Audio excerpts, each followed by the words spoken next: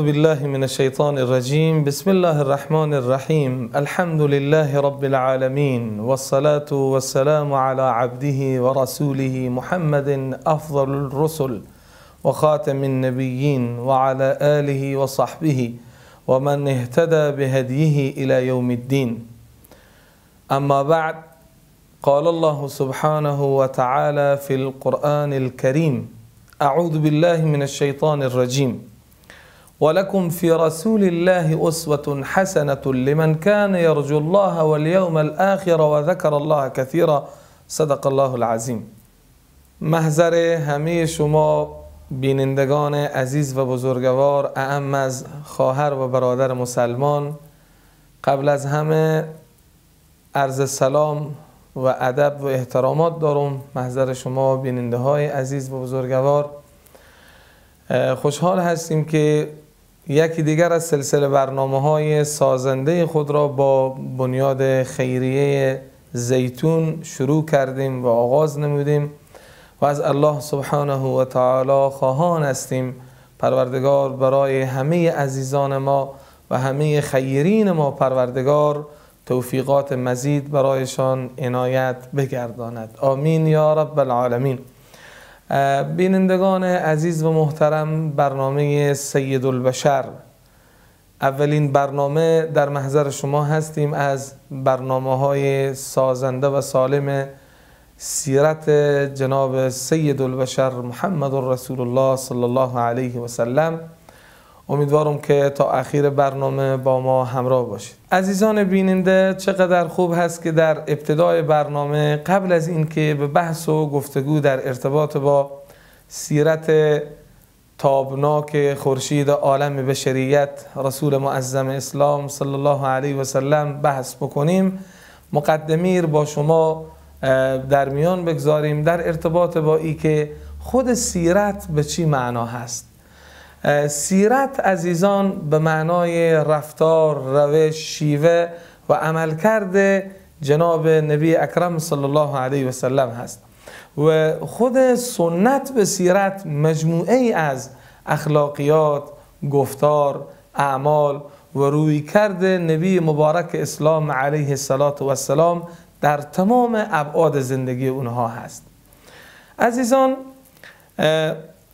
خود سیرت که ما مکلف هستیم یک مسلمان و یک مؤمن باید در ارتباط با زندگی نبی خدا صلی الله علیه و سلم جستجو بکنه تا اینکه اگر کسی می‌خواهه کامیابی دنیا و آخرت زندگی شیرین زندگی مبارک انسان در دنیا داشته باشه باید مطابقت یک شخصیت و انسان کامل انسان باید الگو برداری بکنه و یگانه انسان کاملی که در تمام عالم بشریت بنابر فرموده قرآن عظیم و شن الله تبارک و تعالی می فرماید ولکم فی رسول الله اسوه حسنه یقینا که در روش و زندگی پیامبر الله میفرماید الگو و پیشوای بسیار نیکو برای شما جناب محمد رسول الله صلی الله علیه و سلم هست.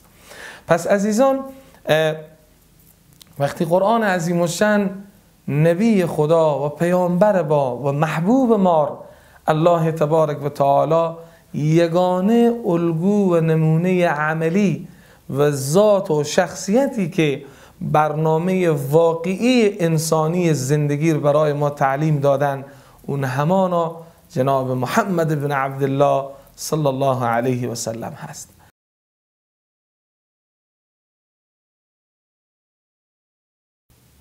در کنار اینکه قرآن عظیم و شن یگانه الگو و رهنمای واقعی و بدون نقص و بدون عیب و مشکل را نبی اکرم صلی الله علیه و سلم معرفی می کند وقتی در زندگی شاگردان مکتب محمد رسول الله وقتی ما نگاه می کنیم اونهایی که پیامبر در شأن اونها میفرماید اصحابی کن نجوم شاگردان مکتب من اصحاب من مانند ستارگانی در دنیای معرفت می درخشن به ایهم اقتدیتم اهتدیتم. اگر به هر کدامشان شما اقتدا بکنید شما هدایت می‌شوید. یکی از اون الگو یافتگان مکتب محمد رسول الله صلی الله علیه و سلم حضرت سعد بن ابی وقاص رضی الله تعالی عنه میفرماید میفرماید که ما همان طور که سوره ها و آیات قرآن بر فرزندان خود تعلیم می‌دادیم ما زندگی جناب محمد رسول الله رو برای فرزندان تعلیم می‌دادیم. ما برای فرزندان می‌گفتیم که شما نبی مبارک اینطور غذا میخوردن. نبی مبارک اینطور راه می‌رفتن. نبی مبارک اینطور مشوره می‌دادن. نبی مبارک علیه السلام اینطور با همسران خود با اطفال با هر انسانی با پیرمردها با زیر دستها با تمام انسانها. نبی مبارک چنین تعامل و معامله و ملاقات و دیدار و گفتگو داشتن.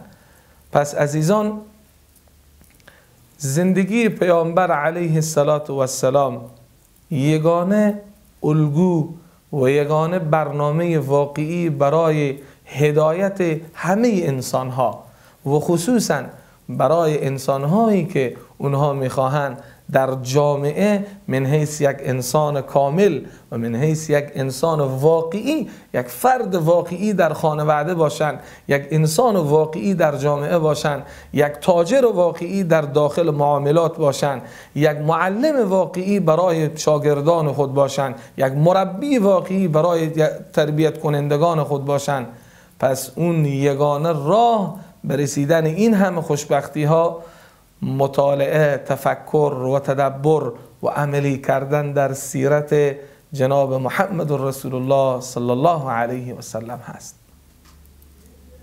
عزیزان بیننده یکی از ویژگی های موفقیت اصحاب زیبای پیامبر علیه السلام در دوران طلایی صدر اسلام این بود و اون عملی نمودن سیرت و سنت نبی اکرم صلی الله علیه و سلم در زندگی اصحاب مبارک پیامبر بود. اونها به اوج قله های خوشبختی و ترقی و سعادت رسیده بودند.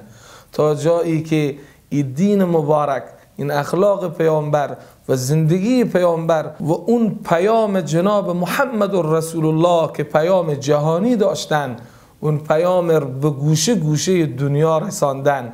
و اون رمز موفقیت اونها اون بود که اینها به سنت و سیرت پیامبر صد فیصد پایبند و الگوی اونها زندگی جناب محمد رسول الله صلی الله علیه و سلم بود.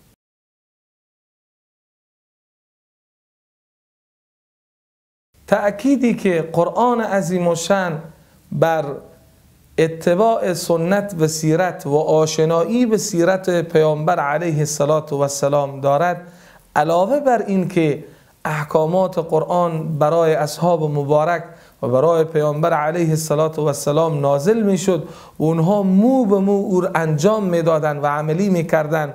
اون زندگی پیامبر در زندگی صحابه بود تا جایی که از اصحاب زیبای رسول الله انسانهایی معتقد فداکار و مجاهدین پرتلاش اونها به جامعه تربیت شدن و تقدیم شدن که پیام جناب محمد رسول الله صلی الله علیه و سلم را برای تمام بشریت به ارمغان آوردند برای تمام بشریت او اعلان کردند که اگر هر انسانی اگر می‌خواه در دنیا و در آخرت کامیاب باشه اون انسان باید در این دین و در این برکت و در این حکمت و در این بصیرت جناب محمد رسول الله صلی الله علیه و سلم باید داخل بشه تا کامیاب دنیا و آخرت باشه.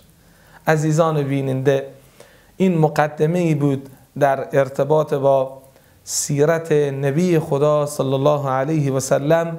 برنامه ما عزیزان بر روی سه محور دور می‌خوره. در کل زندگی 23 ساله نبی اکرم صلی الله علیه و سلم که مبارک 13 سال در مکه مکرمه مصروف زندگی با اصحاب خود و مشغول دعوت به طرف رب مهربان بودن. و ده سال در مدینه منوره. مجموعه زندگی 23 ساله پیامبر علیه السلام عزیزان بر روی سه محور دور می‌خوره.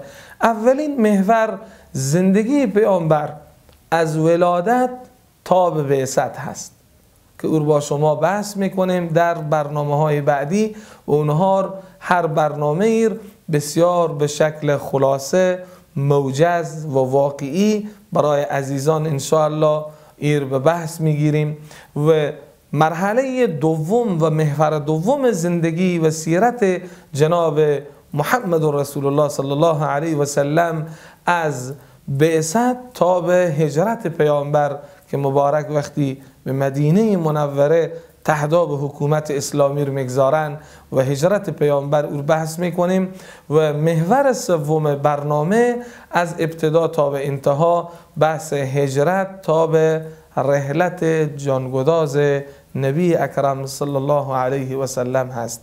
عزیزان بیننده امیدوارم در برنامه های بعدی هم با ما همراه باشید. الله یار و مددگارت